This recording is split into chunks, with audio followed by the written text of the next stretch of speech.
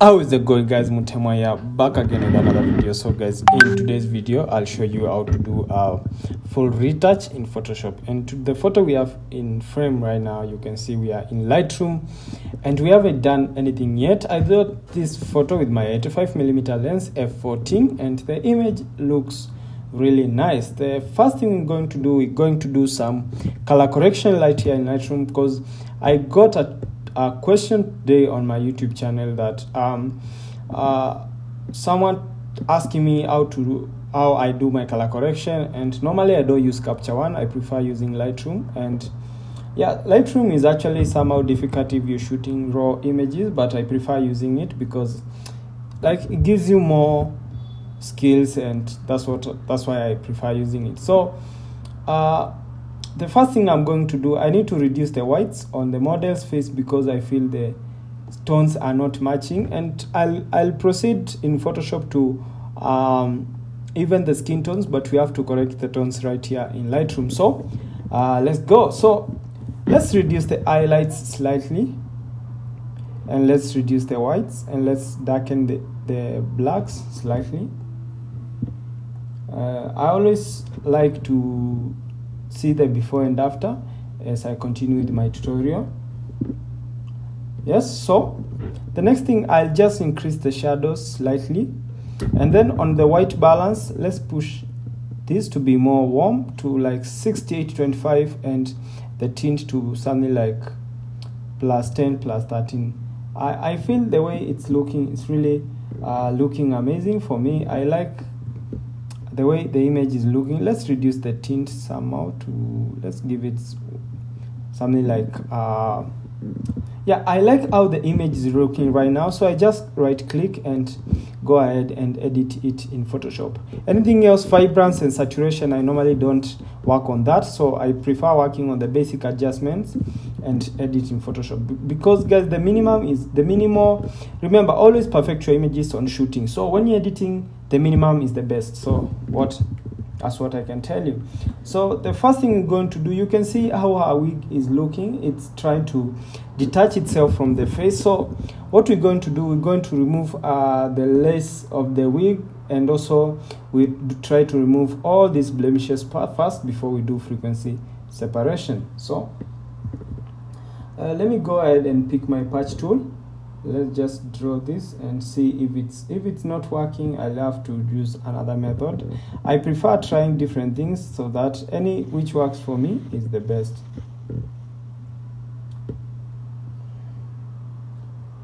Let's try to just edit content let's see if this works. If it doesn't work we try something else. Uh, let me zoom out. I see if this how does this look yeah i feel this something i can always feather on i can always perfect on frequency separation. So for me i think it's looking nice. So i'll just go ahead and pick my uh, healing brush tool and let's perfect this uh, uh, lace removal right here because i think it doesn't look so nice but that's that's the best way we can do. And now i'll go to my yeah i think it's, it's looking nice. So the next thing we're going to do we're going to do uh, frequency separation. And before that remember we said we need to have an even skin tone. And you can see this other part here of the model's uh, body it's actually very dark and we need it to be as bright as the uh, body. So i'll just come here to my actions and run my dodge and burn action. And i'll just brush i'll just dodge the uh, dark parts to just make them bright slightly. So go ahead and just dodge this area right right here to just brighten it up so that it can look exactly the same as the face. Yeah i really do like how it's looking. So let me show you before and after before and after. I think it's looking very nice right now. So the next thing i'm control shift alt and t to create a, a new merge layer and then i'll now go ahead and do frequency separation because i need to do frequency separation so that i can even the lace uh, later. So uh, control j twice. Let's call this uh, texture. And let's call this color. Okay select the texture layer. Uh, deselect the texture layer then go to color. Uh, go to filter uh, noise and then dust and scratches. We need to perfect um, this to be looking as nice as possible. So let's push the radius until we see the textures disappear from our model scheme. Something like uh, let's say I think 14 10 is okay. Let's give it a 10 yeah that looks nice. Then say okay. Then come back here and select uh, the texture layer activate the texture layer. Then go to image uh, in your computer image apply image. Image then apply image. And for this it doesn't if you're using the uh, noise dust and scratches you don't have to add or uh, subtract. You just need to use you don't have to uh, you have to use uh, subtract whether using a 16-bit image or a 8-bit image. So I'll come here and select the color layer and then make sure blending mode is uh, subtract. Scale to offset 128 and don't select invert. Preserve transparency not selected and opacity of 100 and say okay.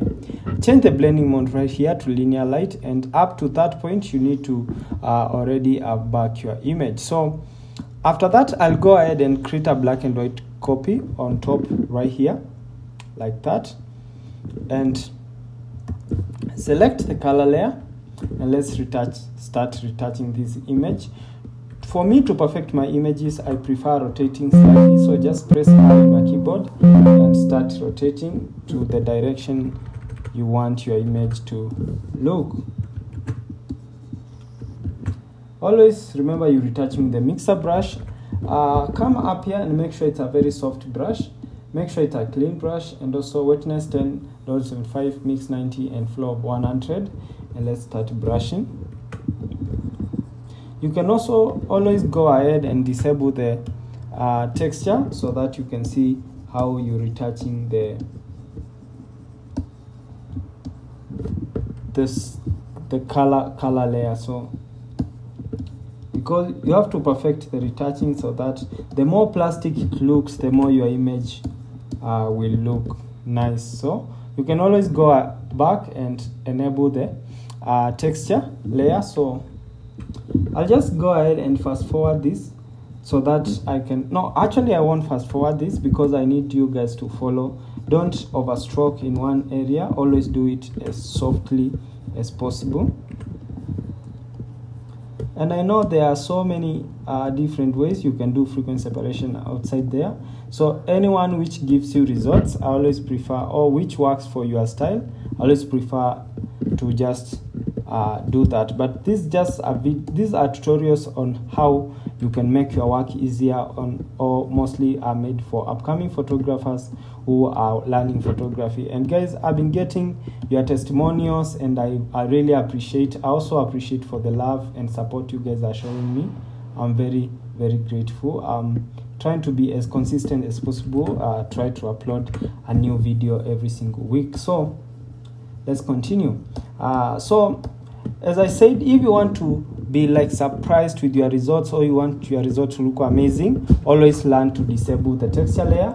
Uh, for me, I try to do tutorials where I'm already I've disabled the texture layer and others which I haven't disabled because everyone has the way everyone understands their style. So guys, you can see how I'm brushing. I'm being very precise because I don't want to make the model's face look practice, but look pra plastic but i um now you can see yeah let's let's you can see i think the face is almost done. I'll always come back and retouch now the remaining blemishes for me to go back to my straight image i'll just press escape and my image will come back uh, straight. So i'll just go ahead and retouch these other parts of the body like the torso or the yeah this area.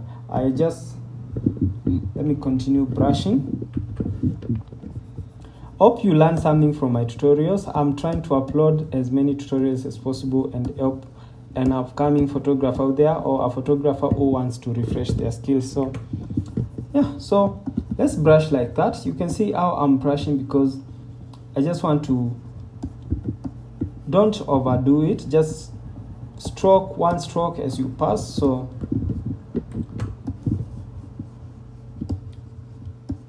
I like how it's really looking right now and the more plastic it looks the more you can always go ahead and enable the texture layer for you to see the outcome. Yeah. And I don't like use I, I for my tutorials I'm, I'm really working so much on not using actions and LUTs because many people complain we use LUTs and you don't understand so I'm doing everything from scratch. Hope you guys I'll attach this image on description before, below so that you can download it and edit along with me. And also when you post your results always don't forget to tag me.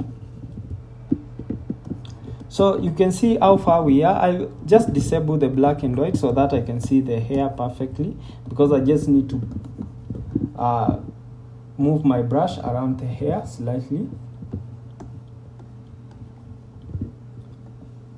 Yeah, I think the image is looking, as I said, the more plastic it looks, the more uh, nice looking your image will always come out looking so guys at that point hope you are with me just go ahead and enable the texture layer and just zoom in your image and see how much difference there. Let me just go ahead and put all these two in a group and group and let's call this frequency separation. Frequency separation. Uh, let me just disable the group and see you show you how much you have done before and after. Before frequency separation after frequency separation before after before after. Let me perfect it on this other side right here because I just need the image to look as nice as amazing as possible. I like how the image is looking and at that point your image might be looking already okay before and after before and after. Make sure your image is not distorted but I'll just uh, select the texture layer and pick your clone stamp tool. Uh, zoom in your image slightly and just remove any remaining blemish uh, just press alt to sample and just paste sample paste sample paste uh, I'll just do this and see you guys back after I'm done with the blemish uh, removal. Hope you guys are following along. I want you to learn as much as possible because, yeah.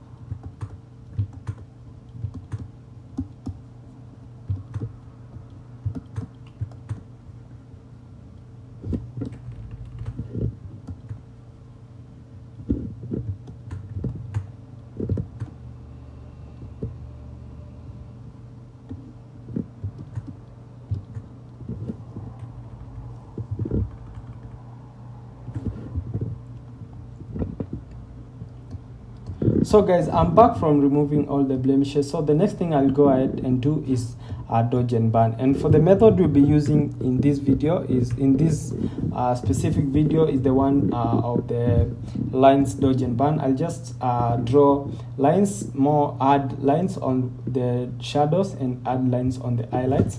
So i'll go ahead and run my uh, micro my global dodge and burn action. Everyone i believe knows how to create dodge and actually let me just create dodge and burn layers specifically.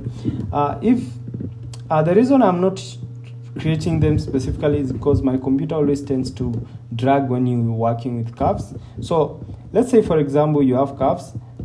When you push them up that's dodge and when you push them down that's burn. And dodging is enhancing the shadows enhancing the eye the highlights and burning is enhancing the shadows. So I'll go ahead and run my global dodge and burn action. And I'll just, select the dodge, pick your brush and remember we say we're using the lines uh, dodge and burn. And so I'll just push my hardness to 100 and let's zoom in if you want to see the highlights and the shadows perfectly on your image create a black and white. Uh, these will define your shadows and highlights perfectly. So uh, let's start with burning. I'll just come here and make sure the flow of your brush is at 100 and draw some lines on this shadow right here. So draw a line on that shadow right here and let's draw another line on this shadow like right there and also let's draw some line on this shadow right here. And also on these ones right here. Uh, pick select on the dodge and let's draw some lines on the forehead like that. Perfect. And then one long line and then one right here. Also another one right here another one right there. It's really looking nice. So let's draw another one right here. Anywhere you feel you you can see a shadow or a highlight uh, always perfect it you always feather it later so this is what this is how you dodge and burn with using the lines method and this or add brush method. This is the best uh, this is some of the best uh, uh, dodge and burn of dodge and burn methods I use. I did I'm, I'm trying to make this video as simple as possible so let's uh, right click on the properties of your dodge and burn and then come here and select on the dodge right here on the uh, layer mask. And let's feather this as much as possible until you can see it disappears. And then come back to the burn and just feather it until you see it disappears. Uh, blend it in more to just make your image looks amazing I like how it's really looking. Let's blend for the shadows perfectly. I like how it's looking right now. Now the next thing we're going to do we're going to do some color grading. Uh, I'll go to select and then selective color.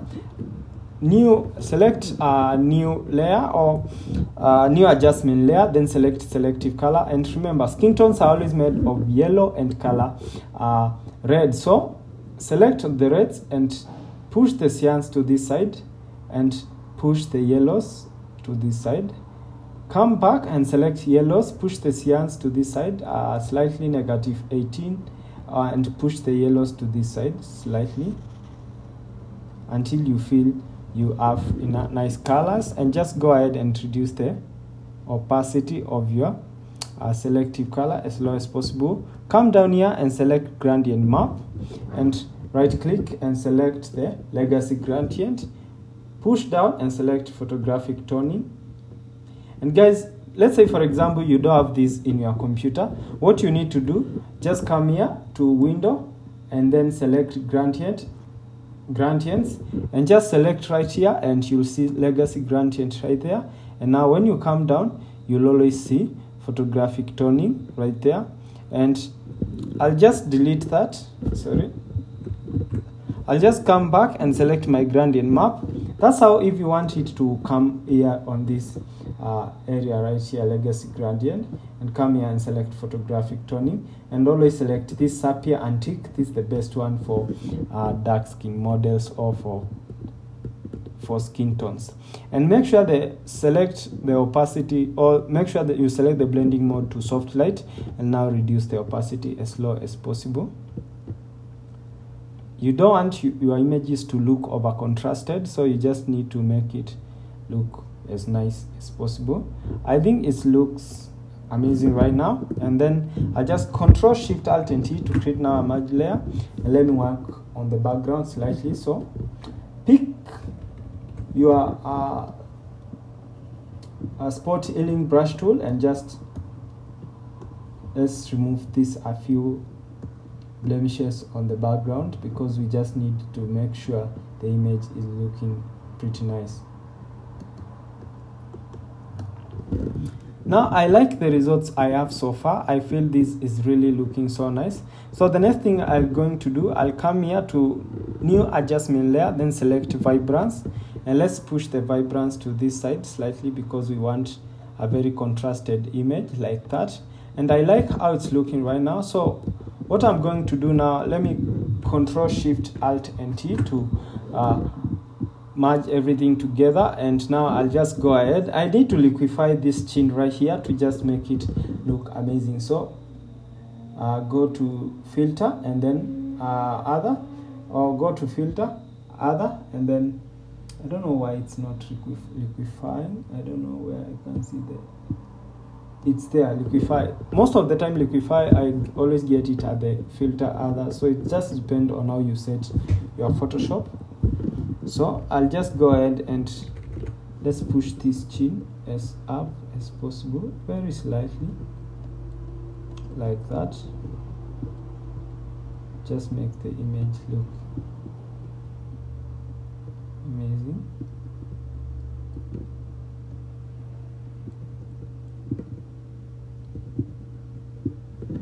if it isn't looking nice for you you can always go ahead and just delete the opacity